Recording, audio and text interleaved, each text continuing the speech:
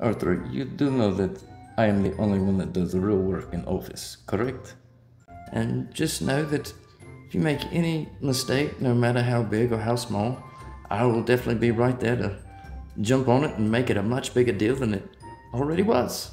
Oh, hey, boss. Uh, I just have one question.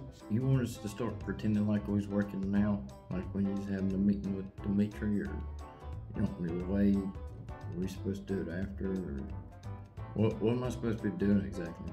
Oi. Nice mug. Where'd you get that cup? You got your milk in there?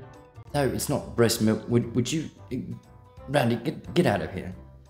Your mother's tit milk over there in that cup, Arthur? Carry on a cup of tits, looking like half a. Roger that, comrade.